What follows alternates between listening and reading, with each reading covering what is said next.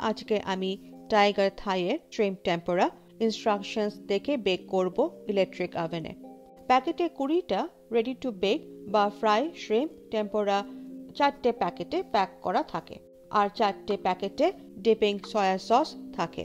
সব সময় ডিপ ফ্রিজে থাকে, তাই শ্রিম্পগুলো বার করে একটা নন স্টিক বেকিং ট্রেতে সাজিয়ে দিলাম। আমি আভেন প্রি হিট করেছি চারশো ডিগ্রি ফারেনহাইট বা দুশো ডিগ্রি সেন্টিগ্রেডে কুড়ি মিনিটে। ততক্ষণ শ্রিম্প আর সস ডিফ্রস্ট হয়ে যাবে। তারপর আট থেকে দশ মিনিট চারশো ডিগ্রি ফারেনহাইট বা দুশো ডিগ্রি সেন্টিগ্রেডে বেক করেছি। দশ মিনিট পর চিংড়িগুলো উল্টে আরও আট থেকে দশ মিনিট বেক করেছি একই টেম্পারেচারে কুড়ি মিনিট পর ওভেন থেকে বার করে পাঁচ থেকে সাত মিনিট একটু ঠান্ডা করে crispy shrimp tempura dipping soya সসের সাথে সার্ভ করেছি।